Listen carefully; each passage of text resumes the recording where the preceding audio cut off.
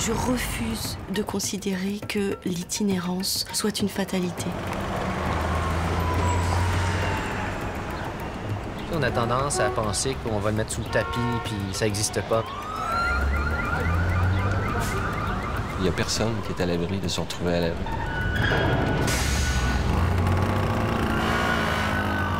A shelter is a critical emergency stopping point, but it's no place to spend your life. Que vous soyez un itinérant, que vous soyez qui que ce soit, vous restez un être humain. Un être humain, ça se doit d'être respecté.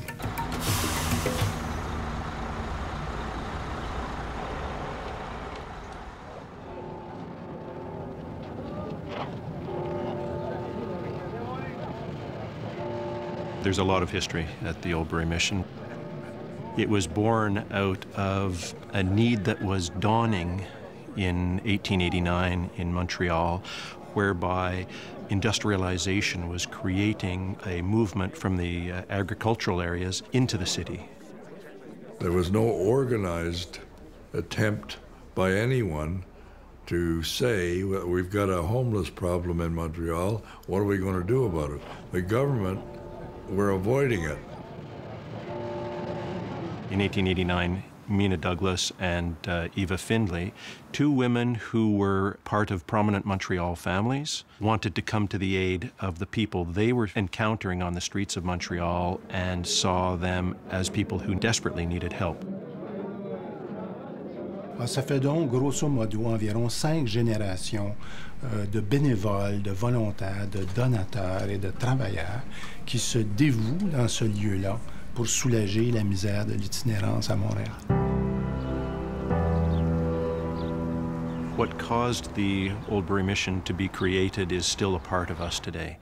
Uh, the desire to come to the aid of everyone who comes to our doors. That's the way it was in 1889. That's the way it is today. That hasn't changed. What has changed is our determination to not only provide a soothing environment, but to provide solutions. Euh, on parle souvent des itinérants comme un groupe homogène, ce qui ne sont absolument pas. Euh, D'abord, il y a des gens de tous les âges, il y a des gens de toutes les situations, avec euh, leur propre vécu. Le visage de l'itinérance a changé, mais aussi qui sont les itinérants. Aujourd'hui, une personne itinérante, c'est une personne aux prises avec des problématiques qui sont très lourdes. The old way was to manage homelessness, help people cope with it, and today we see an end to homelessness as we know it. Now we have to give them services that get them out of homelessness. And so that's the moral obligation that the Oldbury Mission has. On va y offrir des rencontres psychosociales avec des conseillers chaque jour, du support de groupe, du support pour faire ces démarches autant administratives que psychosociales. Donc, on pense que ça peut être d'aller chercher un chèque d'aide sociale, de récupérer des pièces d'identité, carte d'assurance maladie, avoir accès à une thérapie, évidemment la recherche de logement. Donc, notre but, c'est de rendre ce programme-là le plus intensif possible, qu'ils n'aient pas le temps de s'ancrer dans le milieu de l'itinérance. And we find that 70 to 80% of those individuals, after two or three weeks, have moved back into the uh, community. À la mission Bury, ben ça c'est intéressant. Euh, Depuis euh, maintenant à peu près un an, euh, depuis novembre 2013, euh, on a monté un programme ensemble qui s'appelle le programme PRISM, qui est un programme de réaffiliation pour les gens qui sont en situation d'itinérance et des problèmes de santé mentale.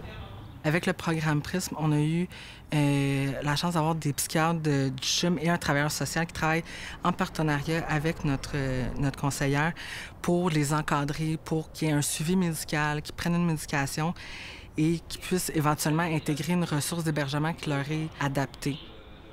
Oui, on est mal servi à Montréal pour euh, les personnes en situation d'itinérance, mais en particulier les personnes en situation d'itinérance qui ont des problématiques de santé mentale.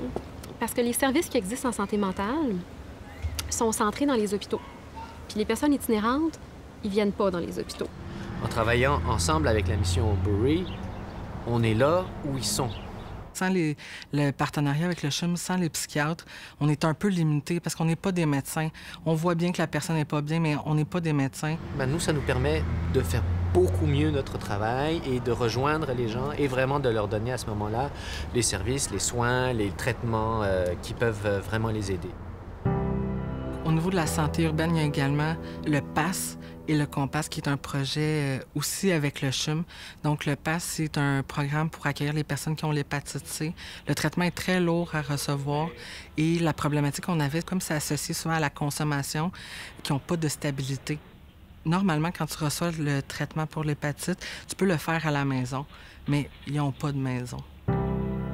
Le programme PRIS a permis à des gens qu'on a vus ici depuis des années, sans vraiment rentrer en relation avec eux, ça leur a permis de s'ancrer, d'obtenir une certaine stabilité pour finalement être intégrés dans un logement. L'année dernière, ici au pavillon Patricia Mackenzie, on a accueilli 530 femmes différentes. Le public ne connaît pas cette misère des femmes. Et euh, je trouve que c'est un tabou sur lequel on devrait vraiment réfléchir. Je connaissais déjà depuis bien, bien des années M. Maury Cohen, qui, euh, qui m'a amené, lui, au pavillon Patricia Mackenzie. Nous, on accueille des femmes entre 18 et 80 ans. Forcément, on ne s'adresse pas à une jeune femme entre 18 et 30 ans de la même manière qu'une femme euh, qui est au milieu de sa vie ou une dame qui est à la fin de sa vie. On essaie de mettre en avant un lien de confiance avec la personne euh, qui va accompagner. Et c'est important puisque l'accompagnement, c'est comme un fil conducteur. L'idée, c'est de lui offrir quelque chose qui lui soit adapté. Donc on a développé euh, différents programmes, en commençant par l'étape, puis l'escale, et on a également les voisines, et ensuite on peut poursuivre le chemin jusqu'au pavillon Lisoitier. Le pavillon est un peu euh, un lieu où euh, les femmes qui ont décidé de se prendre en main peuvent venir. Et pour les aider à une réinsertion sociale qui va leur permettre de redevenir fières d'elles. Finding myself with nothing was something that happened to other people, not to someone like me. I'd lived quite a fulfilled life. I like it here. Yeah. It's uh, comfortable, safe.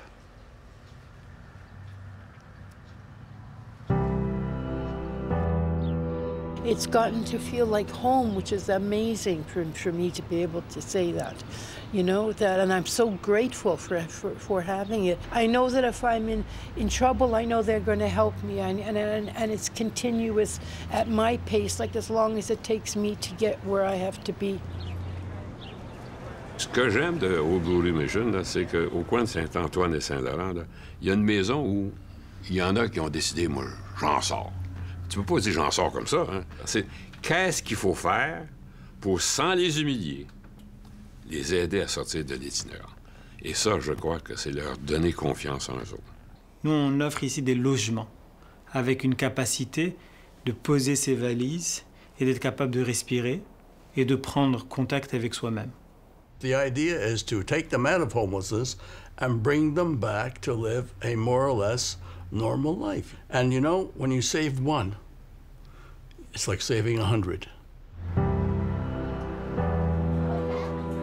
Le Café Mission il a été mis en place pour tous ceux qui passent entre les lignes. Ça se veut un endroit où les gens qui dérangent dérangeront pas. C'est pour ça qu'on l'a ouvert, parce que mes clients euh, font du bruit, font peur, dérangent, se sentent mauvais et euh, sont seuls. C'est un café euh, ouvert à tout le monde, en fait. J'ai du café, j'ai cinq ordinateurs avec accès Internet. À ce niveau-là, je trouve que c'est une chose excellente. Euh, c'est une façon de rester en contact avec la famille, les amis. J'ai beaucoup de gens qui sont en chambre, qui sont isolés. La solitude, je pense qu'avec la toxicomanie et la santé mentale, c'est le troisième pilier euh, qui rend fou. Puis nous, on profite de ce moment-là pour créer une relation, puis faire un petit peu plus d'intervention informelle, si possible. Puis sinon, bien, juste garder un contact avec eux. La solution, elle est là, elle est claire. Il faut voir le problème autrement. C'est à nous de trouver et de développer des milieux de vie qui sont adaptés pour répondre à leurs aspirations. Quand M. Pierce dit il faut fermer les refuges, il a tout à fait raison. Le refuge, c'est pas une solution. Le refuge, c'est supposé être vu comme du court terme et de l'urgence. We move over 600 people a year out of homelessness. Quand j'ai commencé à travailler ici, euh, Au début, j'ai eu un choc un peu sur euh, la vision qu'avait l'organisation. Disons qu'il a fallu que je sois convaincue, mais M. Plus a réussi à nous convaincre tous d'embarquer dans un rêve un petit peu, peut-être ambitieux, mais possible. Your vision isn't worth anything unless people share it and make it happen. So I'm going to give that back to the staff. J'ai entendu des gens assez à droite pour dire non, non, quand tu veux, tu peux. Ben, c'est pas vrai. Je pense que c'est à nous de faire le premier pas. Et c'est ça qui va faire toute la différence. J'aime dire que la mission de la mission, ce n'est pas un cul-de-sac. Et donc, c'est avant tout trouver des portes de sortie, des issues. I would say that you feel very much happier if you're giving just something. Quand tu donnes, là, faut que ça fasse mal un peu. Ça, c'est réellement de la générosité. C'est peut-être ambitieux, mais c'est possible.